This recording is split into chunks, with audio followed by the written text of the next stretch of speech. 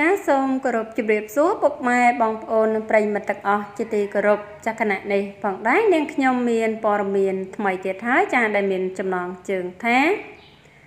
ទឹកចិត្តម៉ាក់យាយស្រឡាញ់ចៅ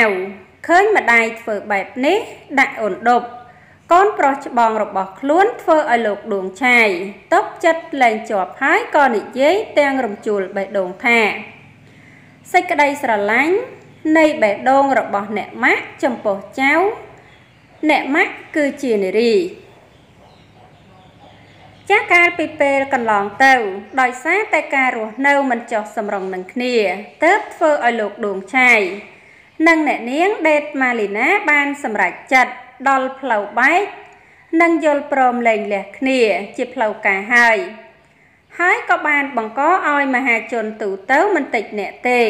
ទោះ ការចាប់អារម្មណ៍និងភ្ញាក់ផ្អើលយ៉ាងខ្លាំងស្ទើរមិនគួរឲ្យជឿនិងនឹកស្មានដល់តលតែសោះលោកនិងអតីតភរិយា មានកូនកូនដល់តែ3នាក់ឯណោះគឺប្រុស2នាក់និងស្រី1នាក់ដោយកូនប្រុសច្បងមានឈ្មោះដួងគឹមវិសាលហៅដប់កូនប្រុសកណ្ដាលឈ្មោះដួងម៉ាណាវីតនិងកូនស្រីពៅឈ្មោះដួងរាជនីគុជហៅអូនភឿល ស្រាប់តែម្សិលមិញនេះនាថ្ងៃទី3ខែមេសាឆ្នាំ2022វេលាម៉ោង8យប់ដោយនៅមិនសុខលោកដួងឆាយបានបង្ហោះវីដេអូពីសកម្មភាពម្ដាយរបស់ខ្លួន បាននាំអូនដប់លំហាត់ប្រាន និងធ្វើសកម្មភាពផ្សេងផ្សេងមើលហើយរំភើបលាយក្តុកក្តួលក្នុងចិត្តជាពន់ពេក ដល់ថ្នាក់ធ្វើឲ្យលោកដួងឆាយមិនអាចទប់ចិត្តជាប់ទេក៏ទំលាយសារប៉ុន្មានម៉ាត់បែបនេះថាសេចក្តីស្រឡាញ់នៃបេះដូងរបស់អ្នកម៉ាក់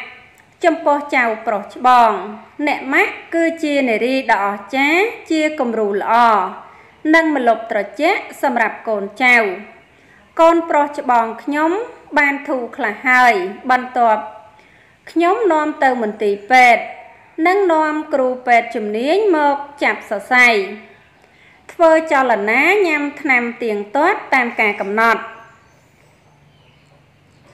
មើលរួចអ្នកប្រើប្រាស់នៅក្នុង Facebook ក៏ដូចជា fan fan របស់លោកដួងឆៃជាច្រើននាំគ្នាចូលខមមិនថា សូមជូនពរក្មួយឆាប់ជាឆាប់ឆាប់ទឹកចិត្តម្ដាយចំពោះកូន ចំពោះចៅពិតជាមានគុណធំធេងណាស់ ជូនពរក្មួយប្រុសមានសុខភាពល្អឆ្លាតនិងសំណាងល្អរហូតណាក្មួយប្រុសទឹកចិត្តម៉ាក់យាយស្រឡាញ់ចៅអូនធំណាស់ឥឡូវឃើញហើយស្រឡាញ់និងអាណិតជូនពរឆាប់ជាណាទឹកចិត្តម៉ាក់យាយស្រឡាញ់ចៅដូចពាក្យចាស់ថា ស្រឡាញ់កូនមួយតៅស្រឡាញ់ចៅមួយថាំង